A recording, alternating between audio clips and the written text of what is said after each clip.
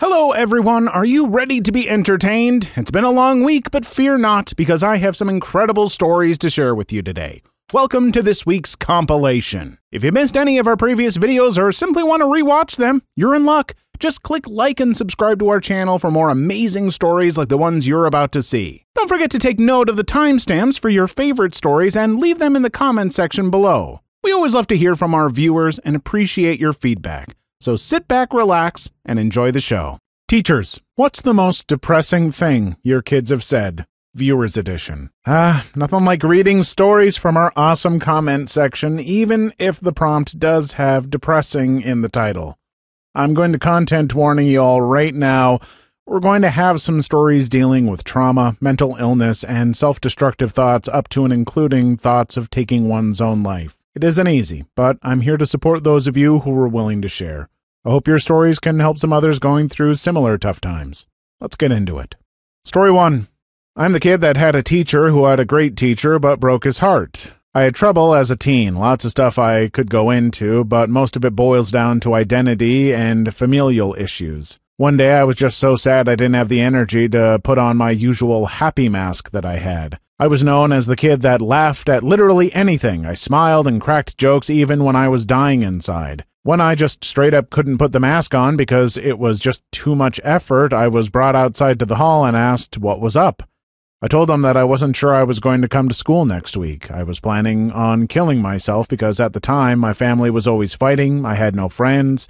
I felt like I was annoying to everyone even when all I said was hello and the only living thing I cared about at the time had died a week prior, my dog, who I got when I was five. When I told him all that, he asked if I wanted a hug, and I broke down crying like a dam had broken. I still feel bad for him because a week later I attempted, but not completed, self termination. When I woke up in the hospital from blood loss and lacerations on my arm, it was then I actually felt like I let him down worse than I let anyone else because I promised him I'd keep going and make something of myself. Instead, I was sitting in a hospital bed barely a week later. Mr. T was a fantastic science teacher, and I still credit him today as to why I'm an endocrinology researcher. Biology is awesome, and I wish I could tell him that, but I don't have his contact information, and the school he worked at closed three years after I graduated. I was only 14 at the time, but I remember how he treated me. Story 2. Not a teacher, but a student. I knew another student who was not very well. Her parents would often hit her, and she would come to school with bruises. Soon she developed ED, and I tried to help her. She started talking about how if she was gone, nobody would care or notice except me. It was obvious that the teachers didn't like her because she would often sleep in class due to low energy. To make things worse, she had ADHD and her grades were dropping miserably. Most of the students were mean to her and bullied her most of the time. One time she came into class telling me that she would say goodbye today. At first, I didn't know what that meant, but as I thought about it, I realized. Quickly, I told the teacher and the counselor. They instantly called her into the counselor's office. Today, she is now well, and we still keep in touch. Story 3. Not a teacher, but this happened to my little sister. It was around the holidays, and our grandma was coming to visit. My sister wanted to make her a drawing and said she was going to work on it at school. That day she came home crying. The kids in her class took her drawing from her hands, looked at it, and laughed. They ripped it and said, Don't cry, I'm just showing you how much you suck at art and you won't be able to accomplish anything in life. She was also constantly bullied by her class. But what makes my heart hurt the most is that she's been told to unalive herself more than seven times. By the way, this happened when she was eight. Luckily, she's okay now and her art skills have improved and she finally has friends. I'm just so mad at how heartless people can be. Story 4. I'm not a teacher, I'm just a student, but I can say that there are times when I broke down in front of them or just in the classroom. This one time, despite doing all of my work, I got lunch detention, even though I shouldn't have gotten it. Normally, I don't mind, but last time I was in lunch detention, someone took a photo of me and made fun of the way I eat. They got in trouble, but I was still anxious after that. So, when the teacher said I had to stay in, I was mad, but also really sad at the same time. I could barely focus on studying because I was crying. The teacher asked if I wanted to eat, and I said no, I just wanted to get it over with. I finally managed my feelings when I decided to go to the bathroom to wash my face a bit. I noticed the teacher who originally assigned it to me, and they said, So, did you do it? And I just couldn't stop myself from crying right in front of them. They said, Oh, um, okay, and walked away. Another time was when I had a 30-minute detention, so when it was 3:30 p.m., I asked to leave because it was 30 minutes. But because the teacher was never informed of the new rules of detention, she said that she never heard of it, so I had to stay another 30 minutes. I tried to protest, but she kind of scares me, so I just stopped myself and did some reading homework. I was really upset because my mom was waiting outside for me and she hasn't been feeling well for the past three years, and I don't want her to wait another 30 minutes. So, for the next half hour I was there, I just sobbed silently. There's even this one time, but first, before I say anything, this has to do with the cheese touch. If you don't know what it is, it's basically like a tag, but I think it's just a tactic to get away from someone. Basically, if people are playing, someone who has it would touch someone, and they would touch someone else. It doesn't matter if they're playing or not, apparently. Yeah, however, if your fingers are crossed, you're safe. So when my friend told me about it, I was really anxious, so I kept my fingers crossed. Even though I wasn't playing the game, I wanted to make sure nobody touched me. Then this kid, who I don't get along with that well, but don't hate at the same time, touched my shoulder, and I got goosebumps all over. Then my friend said, That's not fair. She had her fingers crossed and she didn't even want to play. But the kid didn't listen. I wasn't crying, but I was still disgusted and upset at the situation. I don't like it when people randomly touch me, especially on my shoulder or literally anywhere. Even though the teacher told them to stop, they didn't. One time, the superintendent's daughter complimented my friend for some drawing and then went up to me, and instead of saying something to me like she did with my friend, she touched my shoulder and ran away. Actually was so tired of this. I broke down and I was like, I don't want to play. Why don't they see that? I get bullied a lot in school. The other students would make fun of the way I eat, the way I sit, the way I talk, the way I answer questions, the way I do workouts, the way I play games, the way I live my own life. There are multiple times that I doubted that I could do anything in the future, that I'm too ugly for people to like me, and that I'm too dumb to get anywhere in life. There's this one time I tried to kill myself. My whole school is sexist. The students, really, they prioritize the boys more than the girl to the point where there's a girls versus boys thing when playing games. Other than school, there's a lot of bad stuff I've been through toxic relationships and family problems, a whole lot of them. I took this character quiz and it asked what types of problems I have, for example, social anxiety, abandonment issues, etc. And you know what? I clicked every option there was. There were only six options. Other than the I never experienced this option. My sisters think I'm ugly and stupid, well, most of them. Some think I need to get a life, and my only brother keeps staring at me, and it makes me so uncomfortable. I actually wrote this essay with a bunch of swear words about my family, mainly my brother. CPS has been called, but because we seem normal, nothing happened really, though they came for months. And after that, my mom was so anxious about everything we did and things that we'd do wrong, she'd blame us for the reason why CPS came. For my mom, everything is transactional. My older sister got in a fight with her, and all mom would say is how much she bought for her, and that she is so nice for buying all of that. My siblings always blame me and never listen to me either. My parents always take the sibling side rather than mine, and I really just don't see why. I talk to my teachers a lot after classes, but only academic stuff. Like in Spanish, I would say, blah, blah, I'm learning this in French, or something like that, something that relates to the class. I was a really good student who did nothing wrong back when I was little, and in fourth grade it all flopped. Maybe it was because the work got harder, maybe it was the teacher or COVID. In fact, my family is most positive that I had COVID in fourth grade because I was absent for two to three weeks and was super sick with all of the symptoms of COVID. However, COVID wasn't really known back then. That was the year it started getting known, though. In fact, it was only three months after I was healthy again that quarantine hit. I guess some could say I have issues, but I don't know. Sorry I wrote a lot, I just had a lot to say. If anyone read this far, congrats to you, you know my life now. Well, it looks like I know a bit more about you now, and thanks for sharing. I'm not going to lie, that is tough, and while I dealt with a few similar things in school, I can't pretend to know exactly how you feel or what you've dealt with. I think therapy could be a lot of help, but I also understand how that might not be attainable in your situation. I'll just share this. Find the people who lift you up, embrace your corner of the world, and learn that bullies and jerks are folks with their own problems, and frankly, their opinions shouldn't mean much to you if you don't like them. It isn't always easy, and honestly, some days are friggin' rough, seriously. But school is also such a terrible indicator of what your life could be like. My life as an adult is completely different. I have so much more control over the people I am around. I've grown into my passions and been able to fully embrace myself. It's not an easy road to travel, but the destination has been more than worth it. I'm sorry that you are dealing with walking a much harder path than many other kids have to walk. That sucks. It isn't fair, but keep on walking it, and one day you'll say that you conquered it. What's the most messed up thing at your school? Viewers Edition. All right, comment section, you told us your messed up school stories, and we picked some of our favorites. And boy, some of them really are messed up. Story 1. In middle school, there was a fight going on, two kids beating each other up because one was being racist or something, and a very packed crowd started to form around them. Since it was when we were switching classes, literally everyone was out, and they decided to fight right in the middle so nobody could get up or down the stairs past them nowhere. That was the only spot leading to the other side of the school where most people's classes were. It got so tight in the crowd that I couldn't breathe for a solid two minutes and almost passed out as I was trying not to fall over from the people shoving me around because if I did, I'd be trampled and most likely suffer some serious injuries or worse. Everyone was pushing, trying to see what was happening. As a short person, I couldn't see anything and had no clue what was happening, and it was very easy to shove me around, especially when I literally couldn't breathe. About two teachers were trying to get to the people fighting, but the crowd was just way too tight since they had extremely small hallways.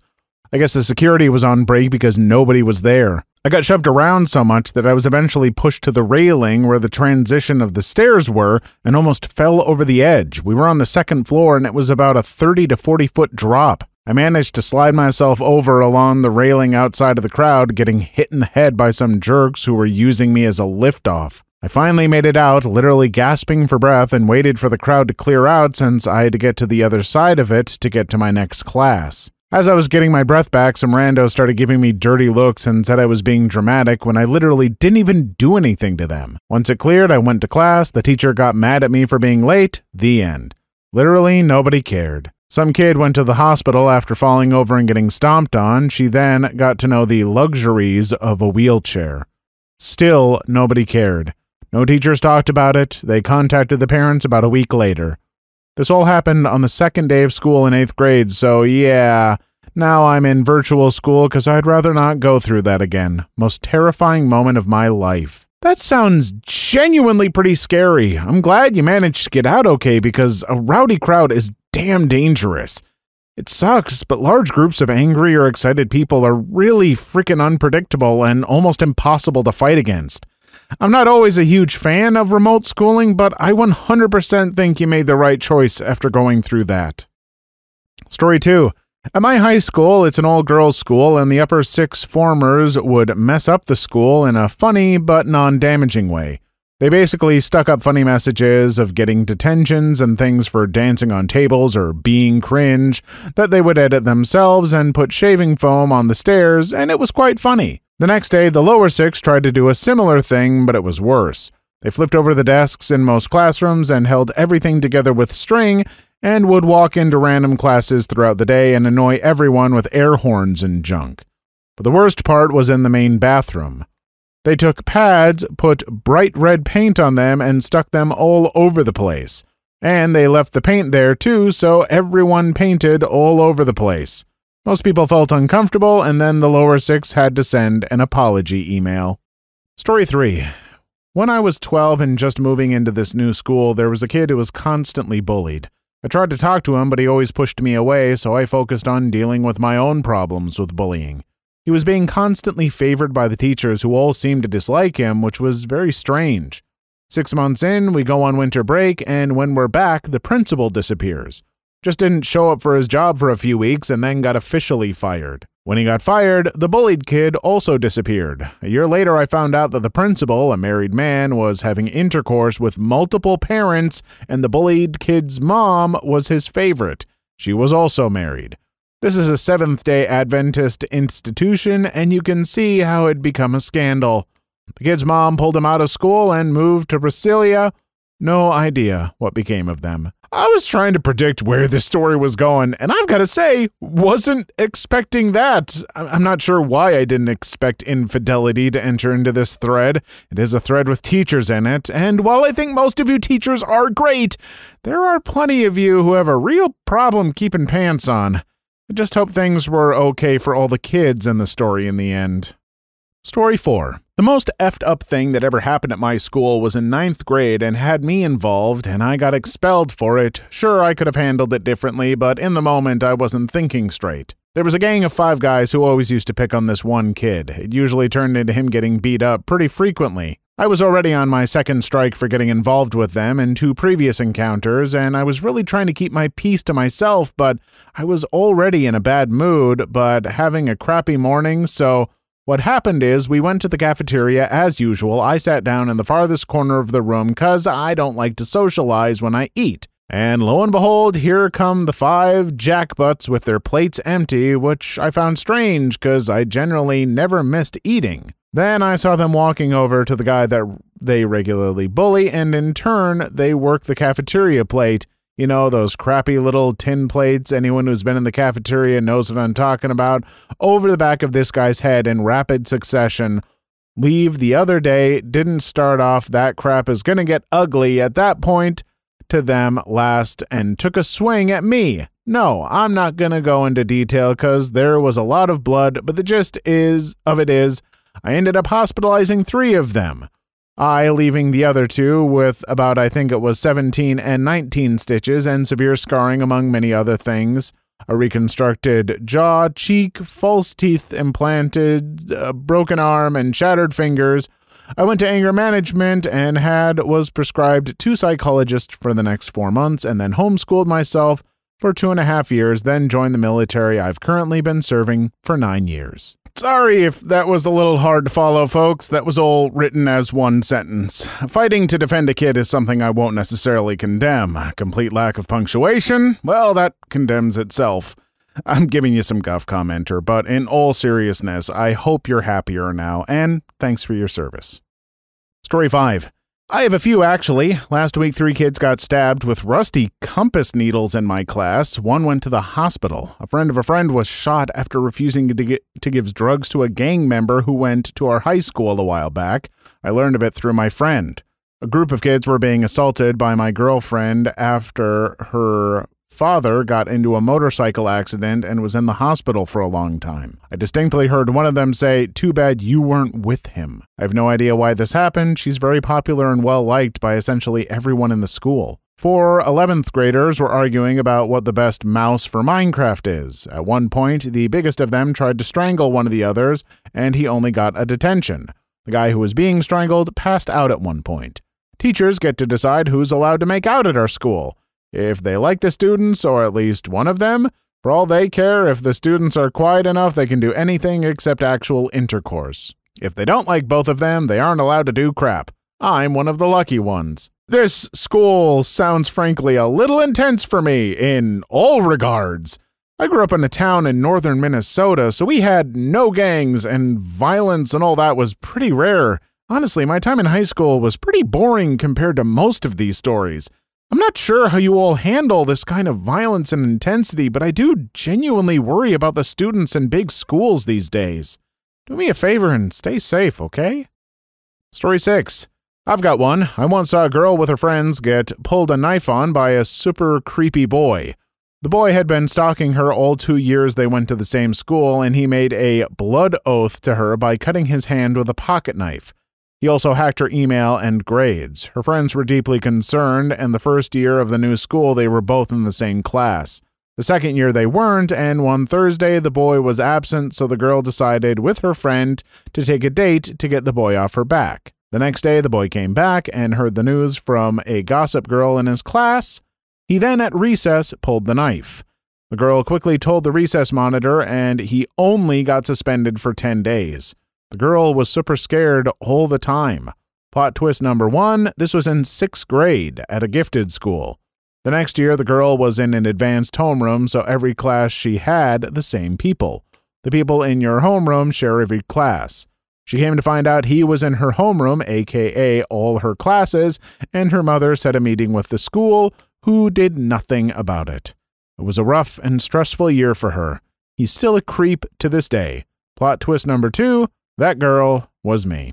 Parents' Tricks That Messed Children Up, Viewers Edition. We read about how other folks' parents messed them up, but we wanted to know how they messed you, our viewers, up. These are your stories from the comments.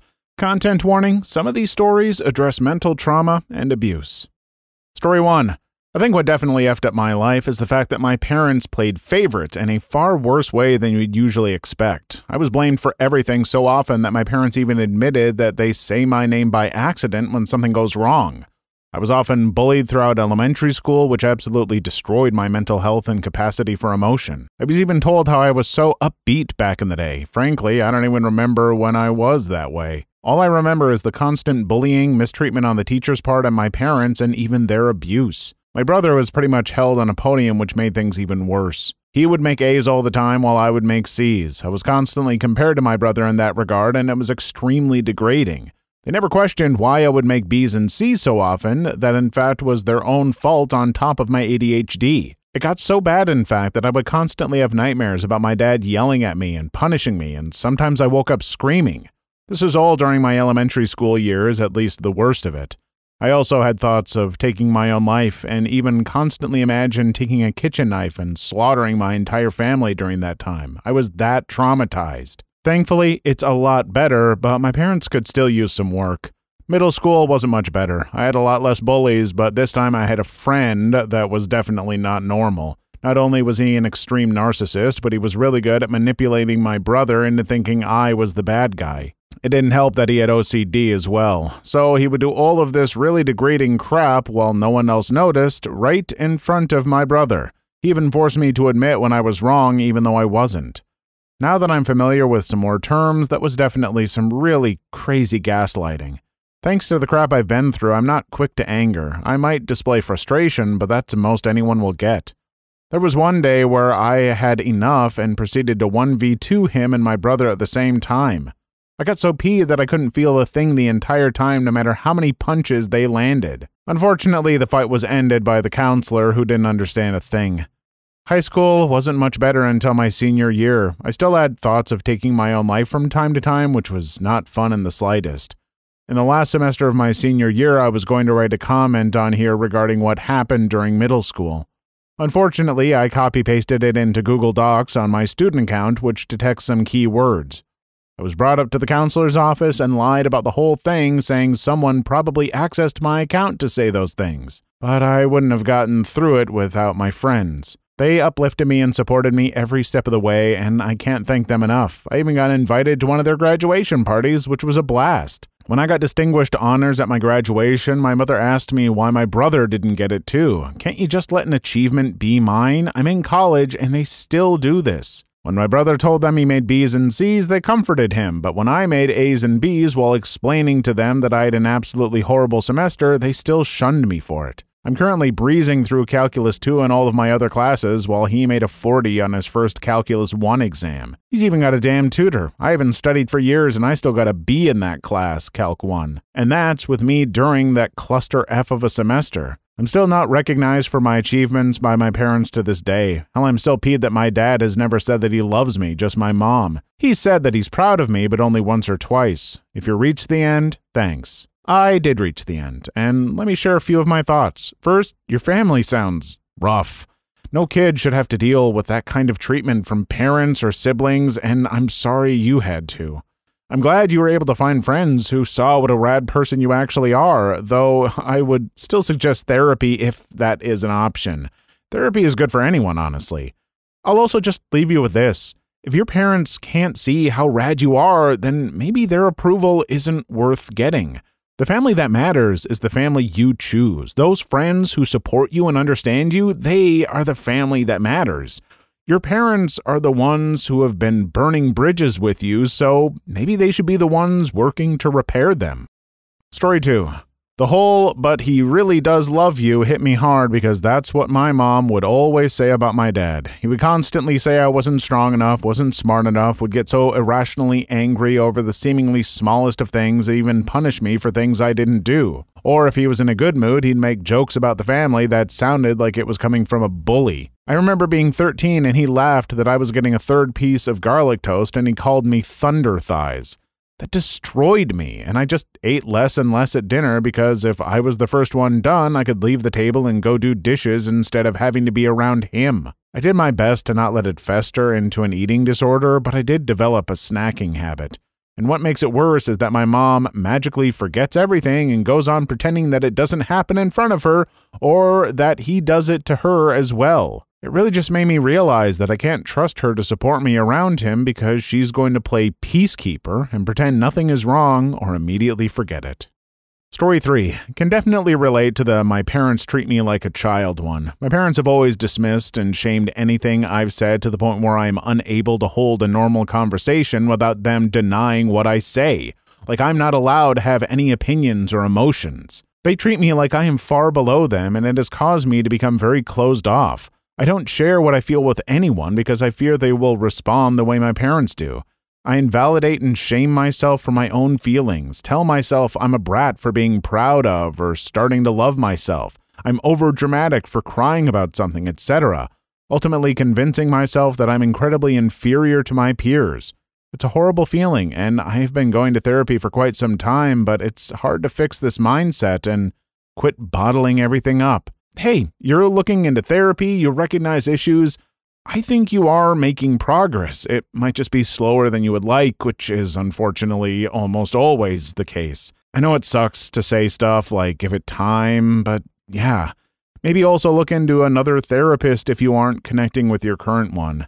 I don't have much to go on, and my advice isn't super helpful, I know, but I believe in you. Story 4 When my parents got divorced, I primarily stayed with my manipulative mother. At the time, I thought she was protecting me from this person who didn't care too much about me. My mother would often convince me that I was missing remembering certain events, like times she hit us kids or times we may or may not have screwed up.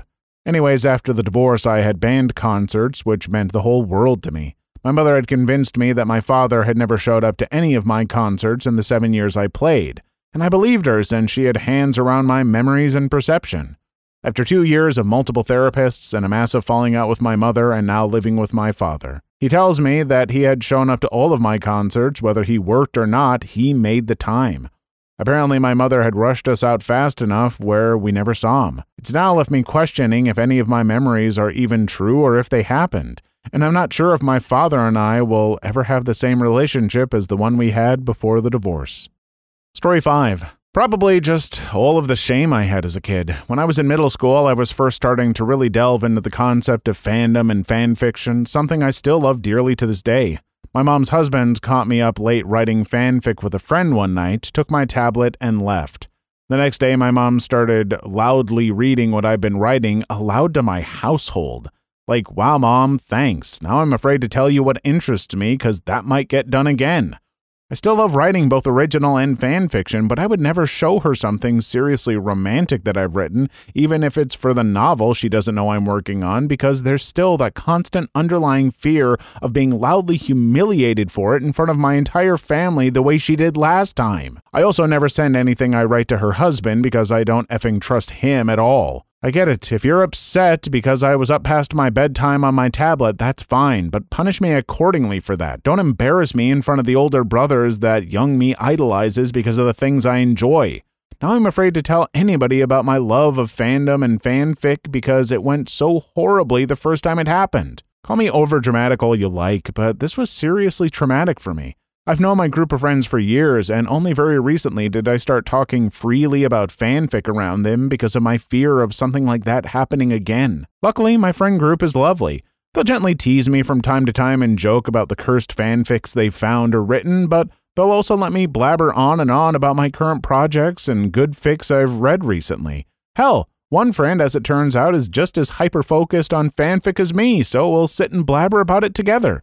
Happy ending, I suppose. Hey, sounds like you found a family of friends that you can better trust because that move by your mom and her husband is just awful. I try really hard not to be too judgy of parenting because it is hard to judge a parent by one action, but that one action was really a huge breach of privacy and trust. I don't blame you for being upset. I do think it is awesome you're writing at a young age and will tell you to never lose that passion because it's awesome. Story 6. My mother's logic was to continuously insult me throughout my childhood in hopes that I would want to prove her wrong and fix whatever she thought was a problem on my own.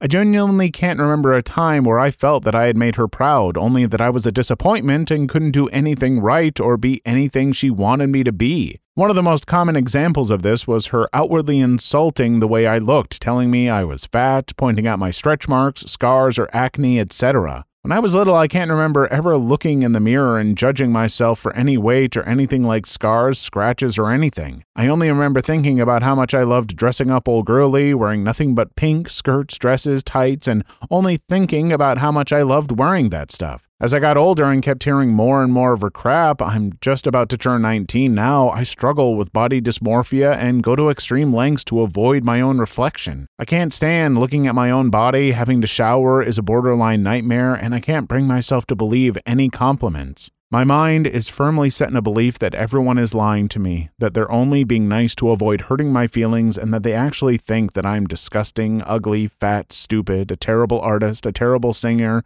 anything you can think of. I hate living like this, but I don't think this will ever change. Don't effing do this to your kids. It's cruel and it will eff them up for the rest of their lives. You're going to think that they're going to forget everything you said, but they won't. I can promise you from experience that they will never forget what you did. Story 7. The story about teasing kids about crushes and stuff low key resonated with me. When I was 7 or 8, I would come home from school and my dad would ask, How many boyfriends have you got now? Every day. It got to the point where if I felt anything towards someone of the opposite sex, whether they were friends or not, I wouldn't mention it to my dad because he would accuse me of dating them. I was seven and barely even knew what dating was. I didn't open up to my dad already because of the way he treated me borderline abusive crap, but now my parents are divorced and I live with my mom, still a minor, giving no more info on age. But he discredited my feelings towards friends and crushes. I never realized how much it messed with me till the line between they're your friend and you like them kind of blurred together, and it was kind of hard to figure out how I felt. I found it funny he asks how many boyfriends I've got. My dad's a craphead, so he might have been implying I was a boy magnet slash Essie because his mom thinks about my mom, and she probably thinks Essiness is hereditary. FYI, though, my mom is in no way at all Essie. She is a hardworking, loyal woman, and my grandma has no right thinking that BS about her. But he gets all wannabe overprotective dad when I talk about boys and he hears it. Another one that I related to a whole F ton, the one where their dad squeezed their knee until they cried. My dad does that. Whenever he does it and doesn't stop when I ask, I've started just slapping the crap out of his hand. I refuse to cry in front of him because he makes fun of my feelings whenever I'm vulnerable around him, but at least he doesn't squeeze my little sister's knee like that. He's an idiot a lot of the times, but he's figured out that if I react the way I do, my sister will too. Don't know why he still does it to me, though. I have a real problem with parents prodding with the how many boyfriends slash girlfriends kind of jokes. First off, jokes are supposed to be funny, and that crap is so old and overdone that it wouldn't be funny if a tap dancing monkey said it with his butt.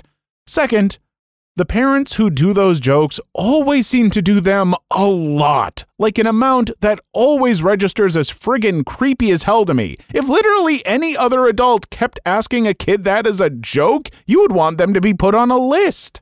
What's your school rumor that turned out to be true? Viewers Edition. After reading some truly wild school rumors, we asked you all what secrets your school couldn't keep hidden. And goodness, did you have some stories to tell? Let's get into it, but uh, content warning many of these stories will touch on sensitive materials such as self termination, pedos, and statutory R.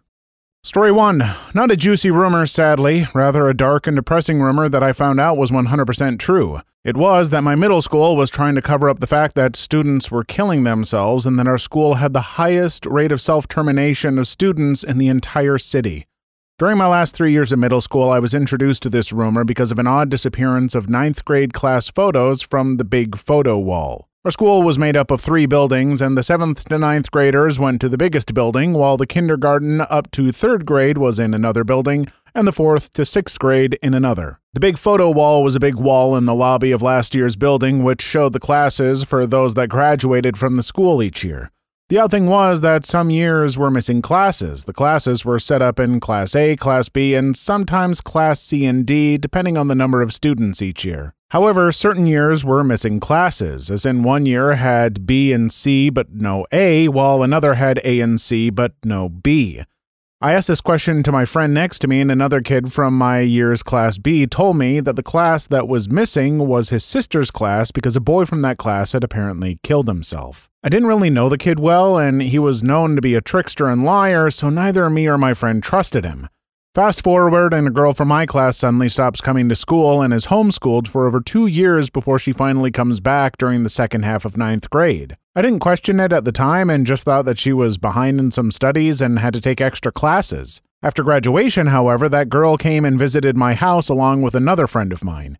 I hadn't seen her in nearly a year since we went to different high schools, so I decided to catch up. Somewhere in the discussion, I asked why she wasn't around during the last couple of years, and she told me confused that it was because an older classman who she was good friends with committed self termination, and she was severely depressed because she had known him since kindergarten. I was shocked because I hadn't heard anything about that, and my other friend only knew because she had informed her. The girl was confused because she remembered asking the teacher to tell her classmates why she stopped coming to school.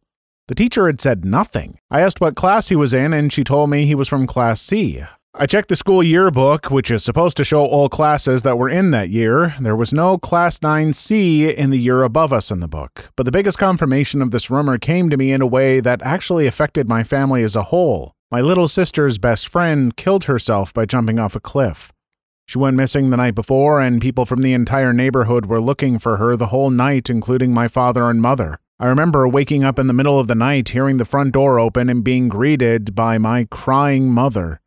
I remember just being in shock outside my sister's bedroom as I heard her and my crying together. My sister and that girl had known each other since kindergarten and was basically like a second daughter to our family and a second little sister to me. I still don't know why she did it, the same with her family. Fast forward a year, and it was the last year for my sister before graduation. My sister and her friends, which was basically the entire class because she got along with everyone, had asked the principal if they could include a framed photo of her for their class picture. He had responded to them in a very unsure and awkward manner and even asked in what she described as almost mocking, Are you sure that's a good idea? Do you really want to do that? Are the others going to be okay with that?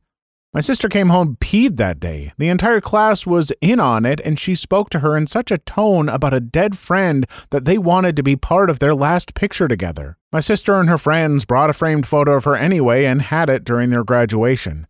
We waited months for the school yearbook to see my sister's class, only to discover that my sister's class was not included in the yearbook. It wasn't even on the school's website. Some friends from a year under my sister's had apparently sent her a picture of the big wall, and she showed me and my parents that her class, which was Class A, was not on the wall, but Class B was. Around a year after I graduated high school, my mom was talking about a discussion she had with a colleague from her job, and she ended up mentioning my sister's friend.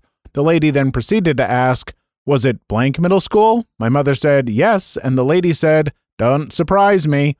Apparently, out of the 19 middle schools that exist in our city, that school has the highest student self termination rate out of all of them, including the one that is located in an area that is said to be the worst place to live in the city because of all the criminal activity in said area. My middle school had a higher death rate than a criminal infested school area. That is just heartbreaking to hear, and it leaves such a bad taste in my mouth hearing about the school trying to keep it under wraps.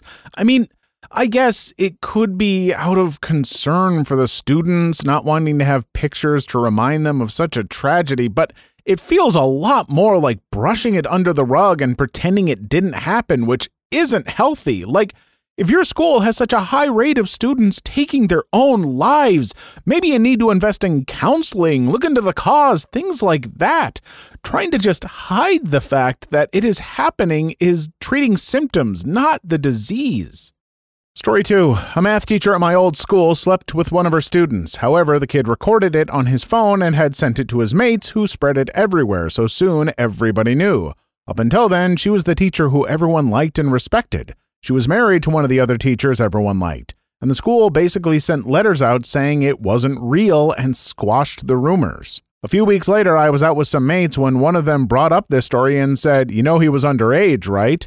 Apparently, my mate knew his family, and not only was he underage, but the teacher had guys to assault the kid, steal his stuff, and make him delete the video. And this was like the third time she'd done it. Story 3 I went to a private school for kids with learning disabilities, ADHD, Down syndrome, Tourette's, etc. It was honestly some of the best years of my life. Until one day it was announced that the school was closing due to lack of funds. This struck all of us as weird as the school got a big cash donation from a local brewery that had just moved in town and wanted some good publicity. Rumors began circulating about where the money went until a few weeks later we found out from one of the teachers that none other than the school's superintendent had been embezzling funds. One of the parents worked for the city, did some digging, and discovered the crime. If that wasn't bad enough, the superintendent was using the funds to make statues of herself. So, not only was this superintendent embezzling from a school, but from a school for students with learning disabilities and making statues of herself. That is the behavior of some kind of cartoon evil mastermind. In fact, frankly, I'm not even sure if I could see a comic book villain doing something like that. Like, Lex Luthor would kill Superman and steal 40 cakes, but stealing from a school for kids with learning disabilities feels like it would be even too much for him, and that's saying something.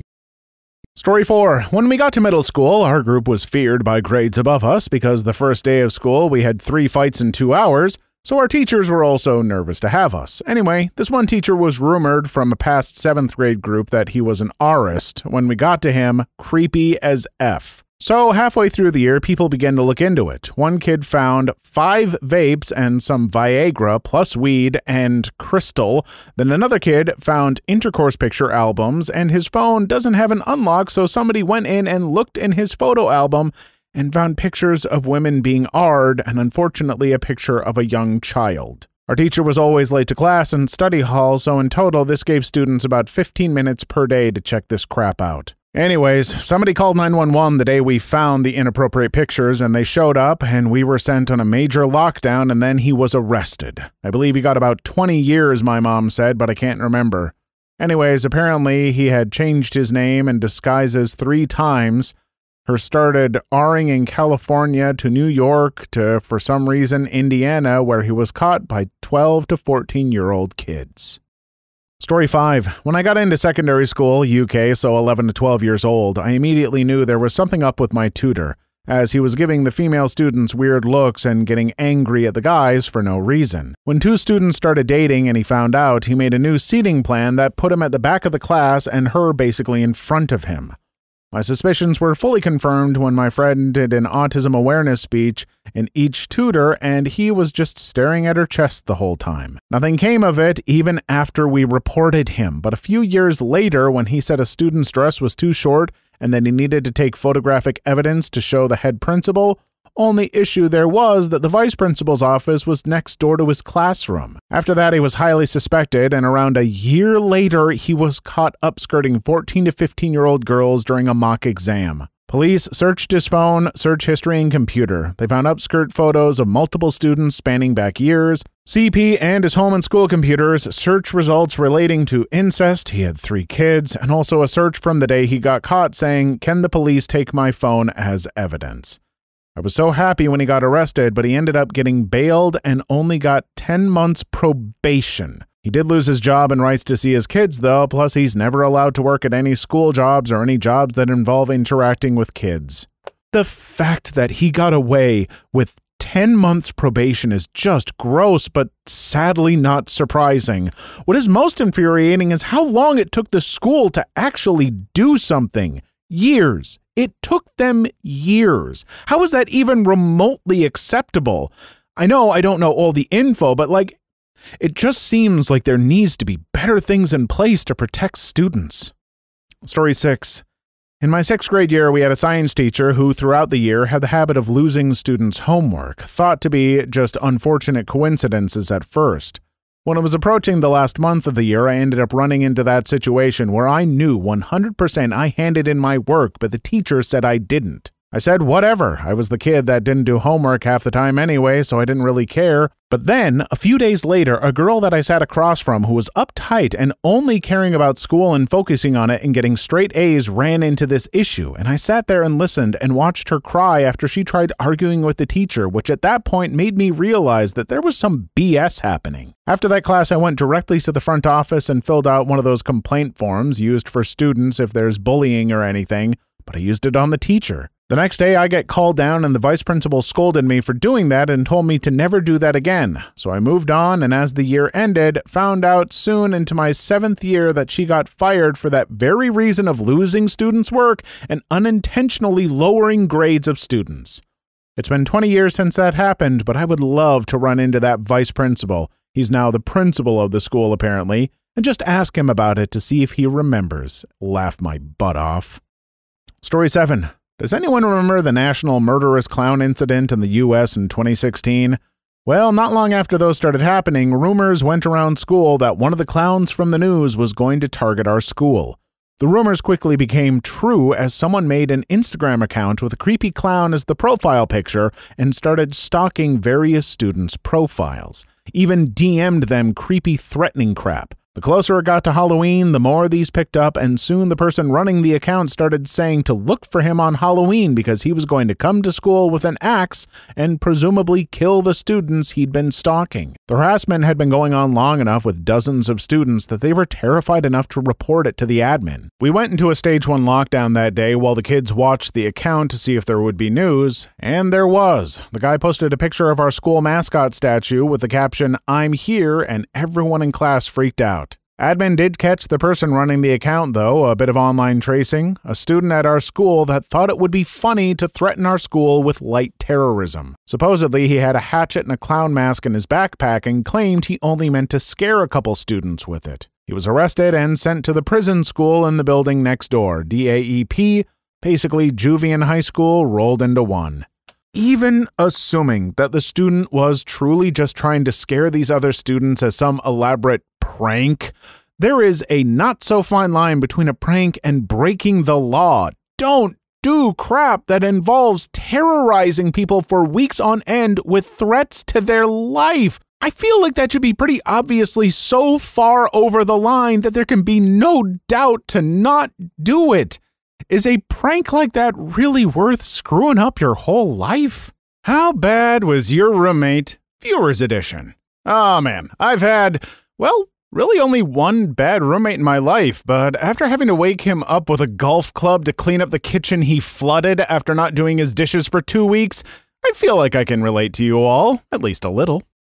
Story 1. One of my favorite roommate stories to tell. In my junior year of college, I lived with two girls that I went to school with. This was during the summer, so my roommates had gone to be home with their families. It was just me in the apartment most of the time since I was in the process of moving out and needed to pack. My roommates would drop by from time to time, but I was mostly on my own. One night, one of my roommates came back to the apartment, cooks dinner with some grilled peaches for dessert, this becomes important later, stays the night, and leaves the next morning. When I woke up, I saw that my roommate hadn't put anything away from when she cooked the night before. We're talking dishes piled up in the sink and making it unusable, ingredients left out, and the griddle she used for the peaches sitting on the counter dirty. I was going on vacation in a couple days and texted my roommate to let her know. Turns out she was out of town and wouldn't be coming back for a week, so I had to wash her dishes.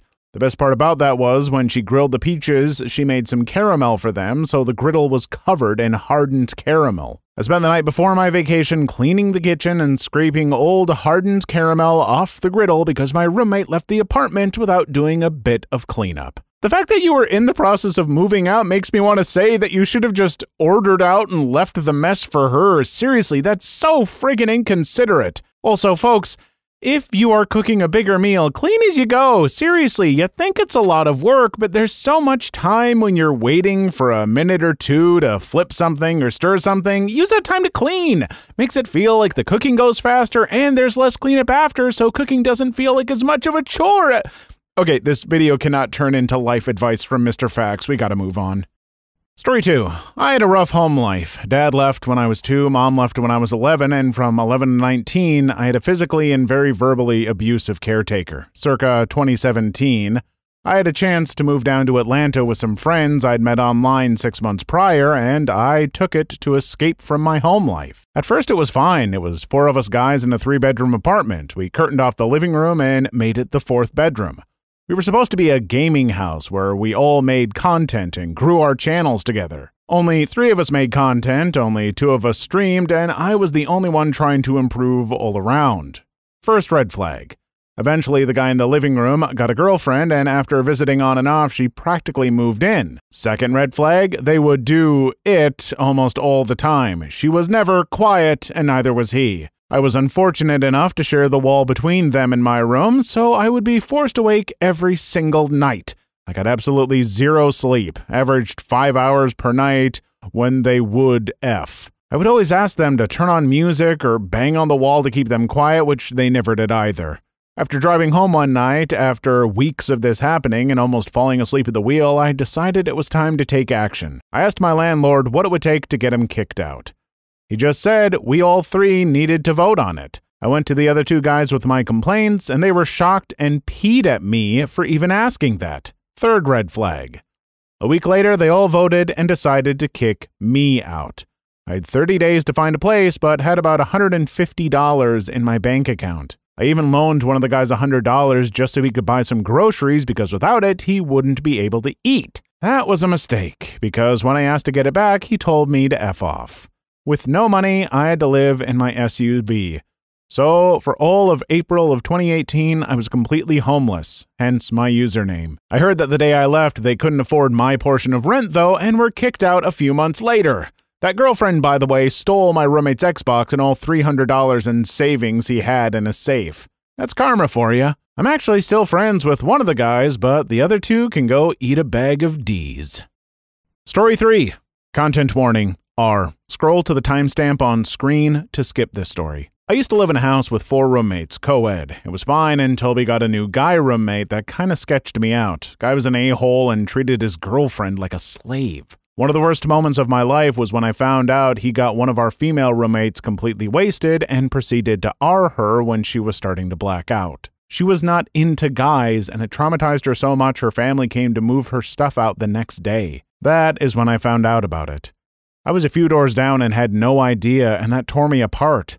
I saw the girl a few years later in a mental health ward when I was visiting someone else. It was a coincidence. I wrote them a letter just saying I wished I could have done more and that I hope she's okay. She wrote back thanking me, talked a bit about that night, and she managed to get professional help. It's been 10 years, but I still have that letter. She never pressed charges against the guy. I wish she did, but that is, of course, her choice. But uh, last I heard, the guy was in prison for selling C. I hope he rots in there. To hell with that guy, and I'll join you in hoping that he rots in prison. What a monster. I do know that it is her choice to press charges or not, but I would encourage any of you to get some support from those you trust and press charges, as it's not just for your sake, but potential future victims. But also know that if you were too traumatized and didn't press charges in the past, you aren't responsible for your assaulter's future actions. That person is.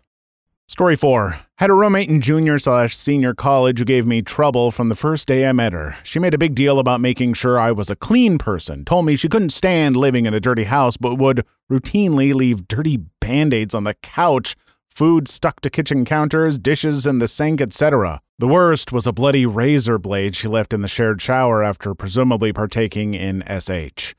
She bullied me any chance she got, routinely told me I was a bad and dirty person, and tried to schedule an intervention between the two of us and the office staff at our campus apartment. She finally crossed a line when she scared my best friend's cat, prompting the cat to scratch her. Admittedly, it was pretty bad, but still, and threatened to kill the cat. She said she would get lawyers involved in everything to have the cat put down and went to the office to tell them that living with the cat was like living with her aurist. We took our pets out of the apartment for fear she would hurt them, and when she realized she didn't have access to my best friend's cat or my dog, she poured dish soap in our fish tank, effectively killing all 17 fish we had in there and flooding the apartment in lemony suds. We called the cops on her and she was forced to move out of the apartment, and that's the last I've ever heard of her. Thank God. Story 5. Once I hit a roommate that was an ex of mine. We remained friends at that time, and another roommate who I was kind of into, and she was into. I had the upstairs room as she had a bird that would do well in the living room with the curtains open for plenty of sunlight, although she ended up keeping those curtains closed all the damn time. Long story short, the other roommate decided he really wasn't keen on her, and me and him got along as friends at least. She was so jealous of our friendship growing based on our mutual growing disdain slash dislike for her that she insisted he helped her move all of her stuff upstairs to my room and all of my stuff downstairs to her room got about a quarter of the way done and gave up upon realizing that my room was smaller than hers and her stuff wouldn't fit in there nicely. Plus, due to her weight, the floorboards would sink inwards when she stepped on them and did not feel super safe for her to walk around in. Genuine realization on her side, not a criticism about her weight. Made him move it all back down and proceeded to sulk at me when I got home, with me only finding out later why. Apparently, she was upset that he'd come into my room when I was sleeping. He gets insomnia, something crazy sometimes. To use my PC. He didn't have one of his own at the time, but was saving for one, and wanted him to do it with hers instead.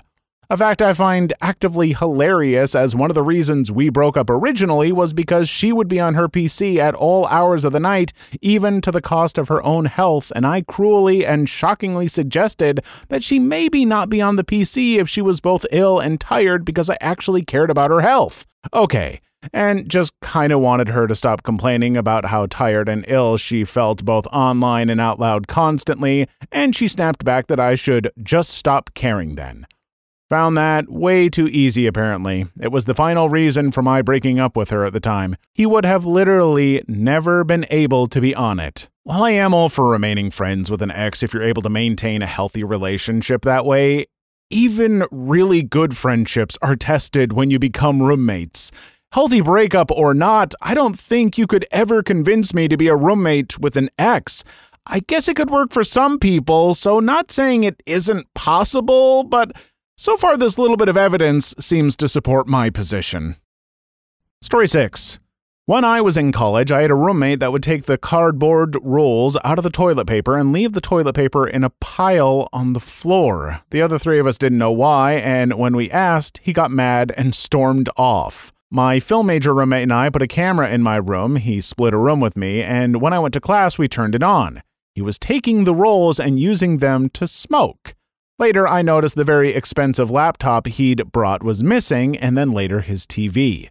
He started staying out longer, and when he'd come home, he'd be so out of his mind that we'd have to carry him to the couch. One day, his mother showed up and asked to speak with me, and asked me about his belongings that were missing in his behavior, saying she'd gotten a call from the school that he'd been missing a lot of classes, and that we'd reported him missing a few times. We had, including that week. Now, I cannot bring myself to lie to a person's mom, so I told her what I knew about what was going on. She asked me to call her when he finally showed back up, and three days later, I called her. She showed up within 10 minutes. She'd booked a week at a local hotel and snatched him up off the couch, screaming in front of all of us, my one roommate's boyfriend, and the girl I'd been seeing.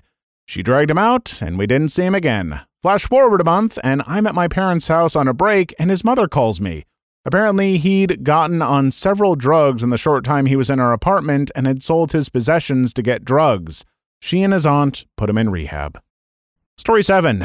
Yep, having roommates you know nothing about is a bad idea. Friendships can also end by being roommates.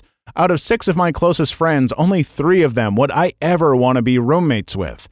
I couch surfed two to three days out of the week to get peace from the drama that is my family. I hardly ever slept on the couch. I would usually sleep in the guest room, their bed, or they would sleep in the empty roommate's bed or simply share their bed. Two of my friends said I couldn't stay over. From the few times I visited their homes, I got the vibe that they're mothers as to why. They don't do anything around the house to help, and an extra body will just add to the pile of housework.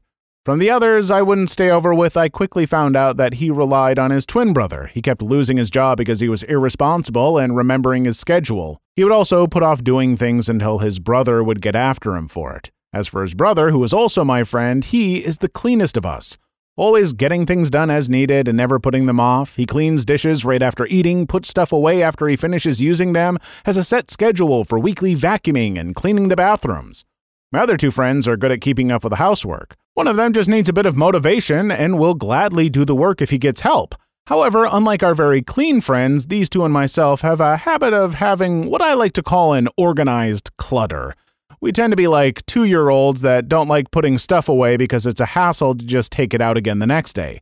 This isn't done in a common room. We each have a room dedicated to console or tabletop gaming in our homes. The rooms are not dirty, they just appear messy because of the clutter. I never actually had roommates, but I definitely heard how bad it was with the first two I mentioned. Friendships were put to the test. Eventually, they were told to pack up and go back to their parents. The third one, his brother, eventually kicked him out too. It's like I said, not even pretty good friends are necessarily compatible as roommates. People have their own ways of living, doing things, all that stuff. You move in with a really good friend thinking it'll be all fun, but suddenly you realize that you hate having dishes in the sink, but they prefer to just do big loads of dishes by hand once or twice a week. It seems like just one little difference, but there are usually a lot of those differences. It isn't easy. Crazy Secrets That Kids Are Hiding, Viewers Edition. Ah, kids hide the darndest things, don't they? And you told us what your kids were hiding, or what you hid as a kid because prompts are meaningless. Not complaining, I'll take what I can get.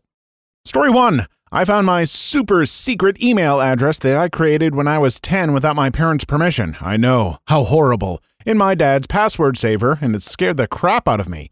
I don't know why I was so scared of my parents knowing I had an email. But I guess it was a thing that was for me and me only to separate myself from my parents and make accounts on social media without them knowing. Additionally, when I was in 5th and 6th grade, my friend and I had lots of secrets with each other. My friend would often talk about them in the backseat of my parents' car loudly, and it always freaked me out. That same friend also texted me, OMG, did you hear that actor was gay? We were both queer too, but I was very closeted at the time. I wasn't exactly subtle, though. And my dad saw the text when he was waking me up. So after I had breakfast, he asked, Who is actor? And I panicked and said I didn't know. And finally, the last one. In fifth grade, as mentioned before, I was very queer but very deep in the closet. I had posted about it on my social media, and my younger sibling found out about it. My sibling didn't know anything about what being queer meant or what outing was, so they loudly said to my mom, She's bisexual! Note, I no longer identify as bi, but at the time I did. And I freaked out. I got so scared. My mom brushed it off as, You're too young to know about that stuff. A year or two later, I officially came out to her. She didn't care and was surprised, which surprised me because once again, I was not subtle. And then somehow my dad found out despite me never actually telling him. I'm really thankful for living in a supportive household because yikes. I'm just happy to hear that your family was supportive of you coming out. That's awesome. But yeah, as a kid, it is weird in hindsight just how obvious we all were about our secrets. And honestly, I'm typically way more surprised when my parents didn't know I was lying.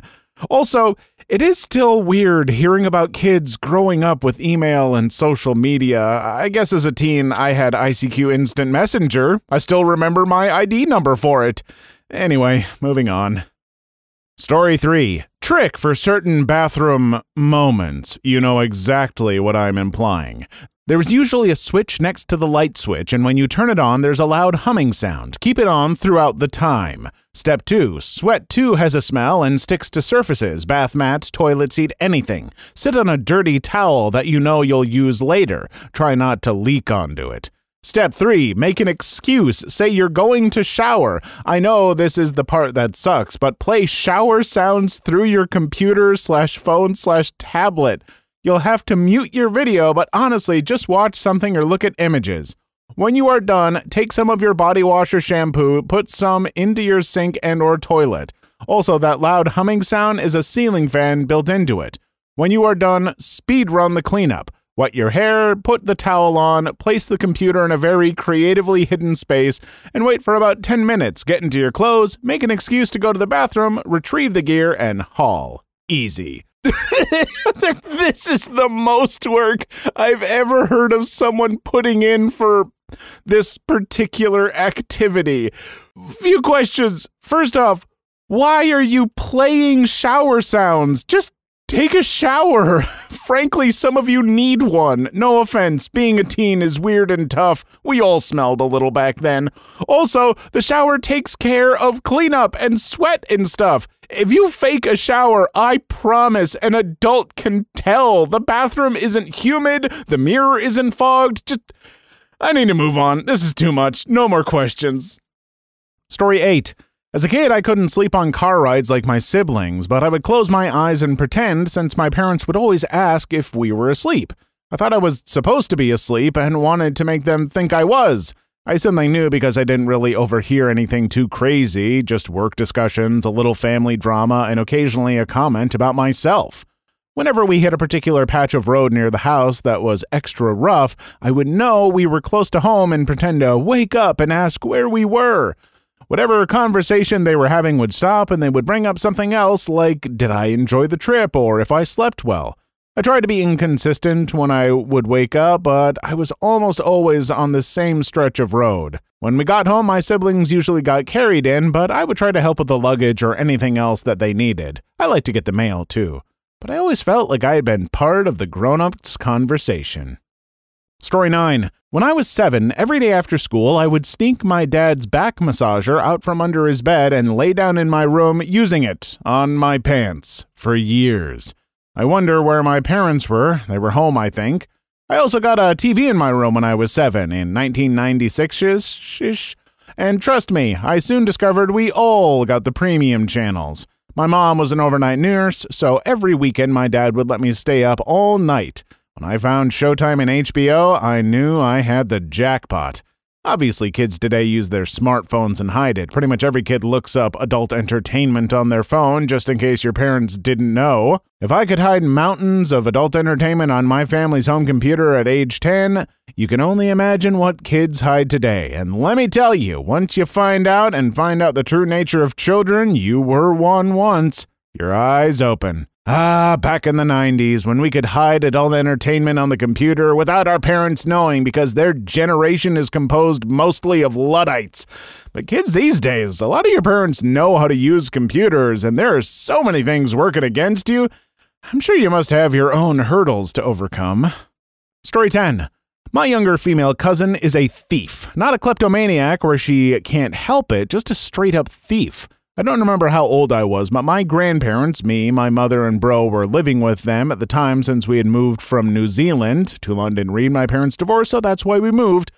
Got me a funky little Lego adjacent toy set for my birthday where the parts were all round ball things with slots where you could make dolls and animals and crap by stringing them together on their rods and sliding in parts for arms and legs and other bits for details. I also don't remember what they were called, and if someone knows, it'd be great if you could remind me.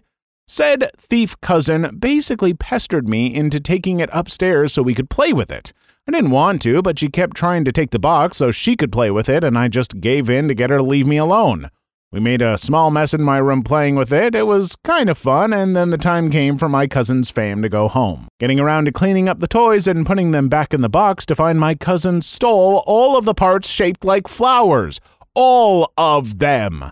She also stole some of my little animals from the animal rescue toy set I'd gotten in New Zealand, where it was like a mother dog and her three pups, and some other ones, like a horse with three little baby farm animals. She stole one baby from each set. And no, I never got my stuff back because she's a effing weasel who either played dumb or straight up denied doing it or just forgot she did it, and knowing that they came from a family that has no grasp on the concept of material wealth i.e., they threw out a barely used sofa instead of selling it or offering it to a family members when they moved houses. She most likely also threw them out too, and to this day I'm still effing peed off at her stealing my stuff, and now I effing hate lending any of my stuff to anyone. But it seems karma has spun its head around and bit her and bit her hard.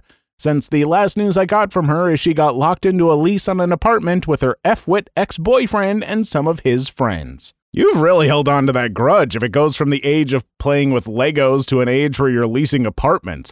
No shade, I'm sure you've got your reasons. I'm just imagining as she's struggling more in life, one day you'll see her on the streets asking for change. She'll see you and be like, Cousin, can you help me out? And you'll just look down at her and say, Maybe you could buy some food with those flower toys you stole from me. She'll look all confused and then say, The ones your dog ate? And then you'll realize how wrong you've been all this time. Help her out and you'll start a business together selling toy flowers and become best friends. See, I guess you were wrong about her. Or maybe she sucks, I don't know. Please leave your story in the comments. I would love to make a video on them in the future. Also, don't forget to like and subscribe.